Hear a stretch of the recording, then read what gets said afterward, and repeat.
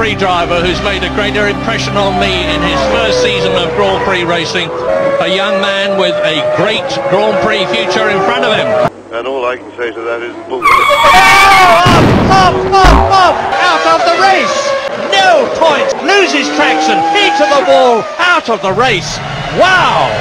Look at this idiot.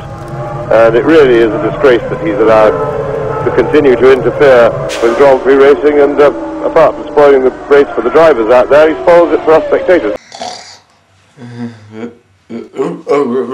Alright, um, hello, my name's Edward Hunter. I'm 15 years old.